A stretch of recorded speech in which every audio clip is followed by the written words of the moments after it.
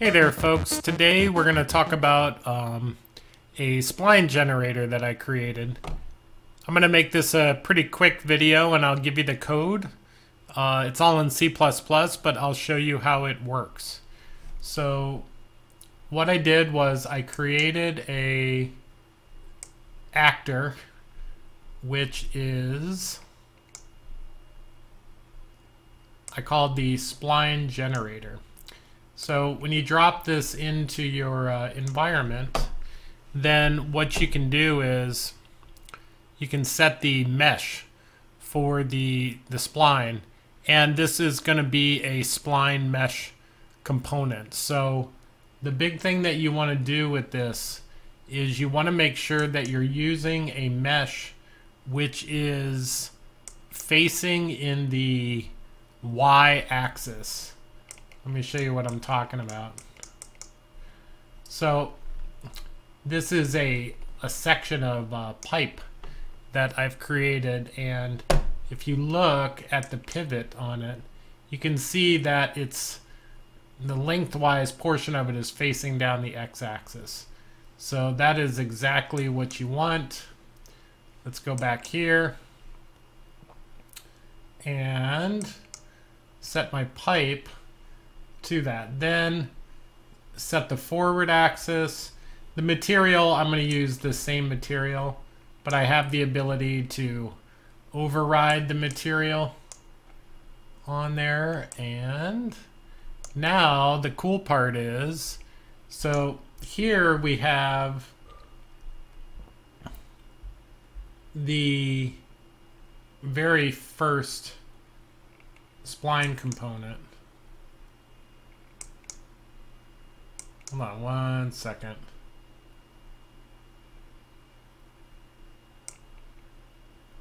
Yeah, so you see the spline generator is an actor and it has a spline component underneath it. So what you do is you grab the point within the spline and if you alt click grab this and drag it now you have another section to your spline. So what I'm going to do is I'm going to drag out some more of the spline here. And then I'll show you some of the cool stuff you can do. So if you haven't seen it before, you can grab the spline, raise it up, and now you see that it is deforming your it's deforming your mesh which is really really cool. Um, you can also so let me grab this one. And obviously you can just keep going with this. It will work with any mesh. So now I'm going to drag another one off. I can raise this up in the air. And you see that it's just following what the spline is doing.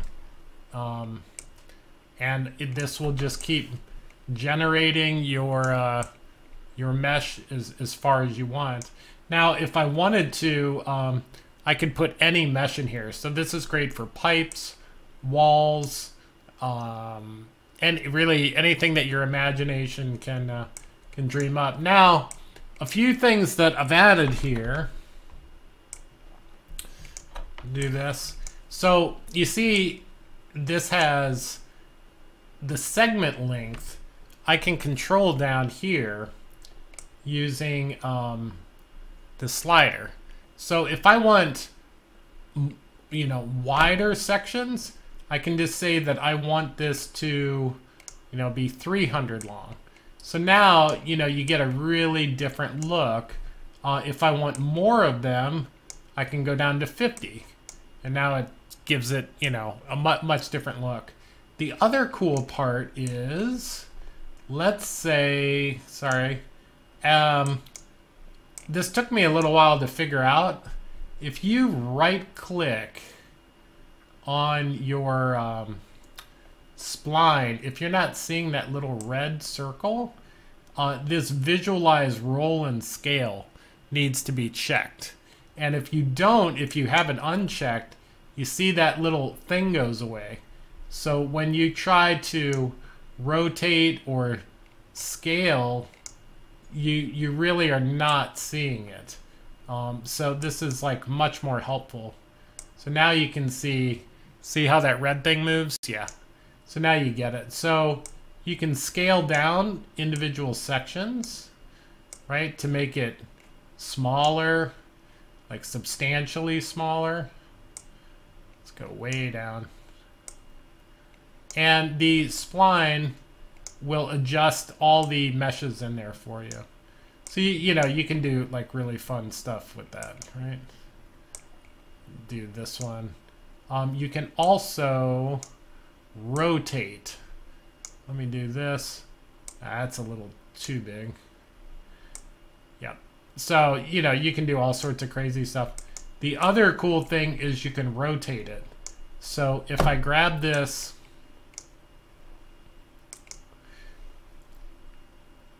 rotate,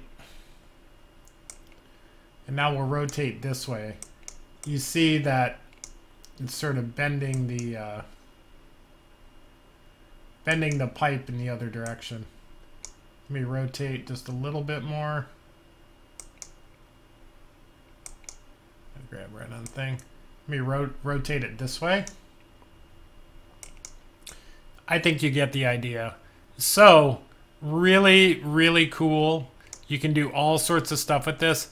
I obviously am not the first person to have uh, created a spline component like this, but I am going to uh, put it out on GitHub. You can download it and play with it yourself. It is a C++ class, and um, uh, it's just, it's pretty basic. So I'm just going to stick it out there. You can dig through the header file and the CPP file and add it to your project and then go for it. So um, I hope you enjoyed today's video. It's just really quick. Uh, let me show you one more example of some stuff that I've done with this. Here is a wall. So uh, here's an example of a wall uh, done with the same uh, spline technology. So here, um, you know, you can you can create walls, pipes, whatever you want. So uh, overall, really cool technology. I hope you enjoyed today's video. I try to upload at least once a week. Sometimes I get a little busy, but if you appreciate this type of content and you want to see more, then please subscribe. It really gives me a lot of motivation to uh, put out these uh, helpful tips. Uh, the Unreal Engine is fantastic, but it definitely lacks and uh, in the in the educational department at times. So uh, I try to help folks out as I learn myself. Thanks. Have a great day.